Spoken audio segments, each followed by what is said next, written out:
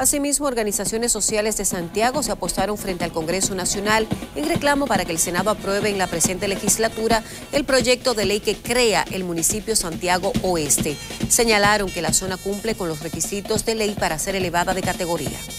200 mil personas, 54 mil familias, 60 comunidades y 40 años de temas sociales acumulados en estas comunidades son razón más que valedera para aprobar esta ley que crea el municipio y que tenemos seis años gestionando, articulando y hablando con todos los sectores de la vida nacional.